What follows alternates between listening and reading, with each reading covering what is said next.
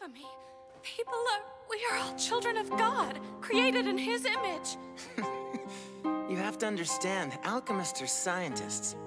We don't believe in unprovable concepts like creators or gods. We don't believe in unprovable concepts like creators or gods. We don't believe in gods. Who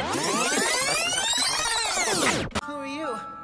Oh, I'm so glad you asked. I am called by many names. I am the world. I am the universe. I'm God.